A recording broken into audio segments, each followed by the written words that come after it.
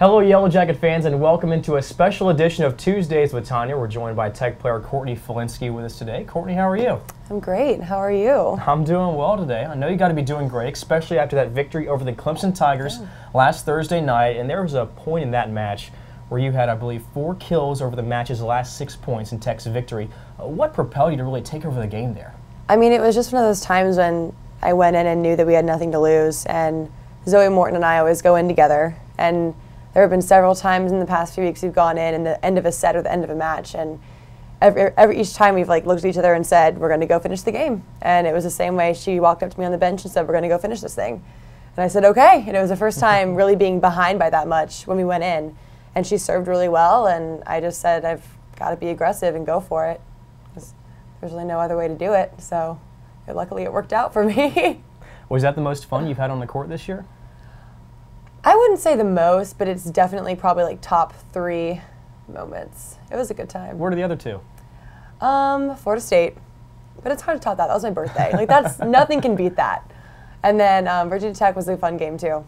So is that the best kinda... birthday present you've had? I mean, beating Florida State on your birthday? Yes. Oh, for sure. it was such an awesome day. All right, so the Jackets defeated Clemson, then lost to Duke on the road, and you're mm -hmm. back home this weekend with Boston College and Syracuse. What are you looking forward to in those two matches?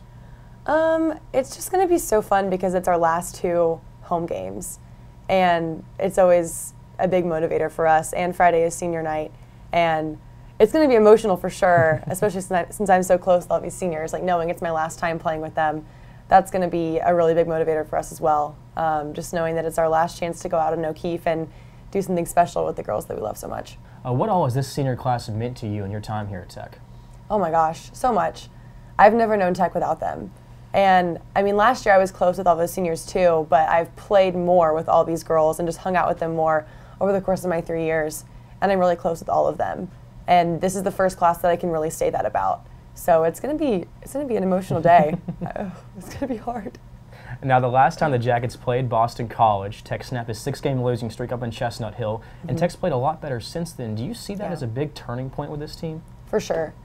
Uh, we've talked about that since it happened. We've just been getting better and better each week and getting more confident as the weeks have gone by. So it's going to be fun to get to play them again and hopefully not have to go to five games this time. Now, off the court, you're a STACK student, correct? Mm -hmm. Science, technology, and culture? Yes. Uh, tell our listeners a little bit more about what you're studying and maybe what your plans are for after school. Well, STACK is very unique in that you can, they teach you how to kind of articulate your skills into anything you want to do with them. It's a very strange major, but I love it because of that. It gives you a lot of freedom to say what you want to do. And I, and in particular, am going towards like a more media focused um, degree. So I'm taking more classes that are centered around visual design and graphic design and things like that because I would like to go into that field when I graduate. Now I know you have some artistic skills off mm -hmm. the mm-hmm. court. You like to take some time painting, I believe. Yes, uh, my roommate Zoe Morton and I paint a lot especially in season because it's just fun to get our minds off of school and volleyball when we have a day off and just put it into something creative.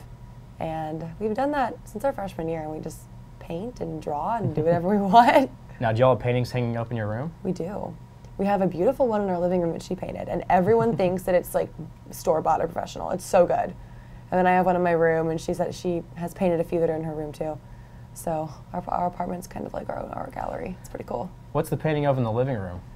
It's abstract. It's not really of anything. Everything hmm. Zoe does is just like splotches of color and paint, but it's like really awesome. It, if I tried to do it, it would look stupid, but she's really good at it.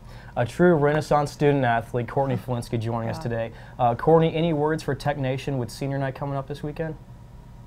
Tune in. It's going to be good. Lots All right. Jackets taking on Boston College and Syracuse this weekend. Courtney, thanks for joining us and best of luck this weekend. Thanks. For all your information on Georgia Tech volleyball, be sure to follow ramblinwreck.com.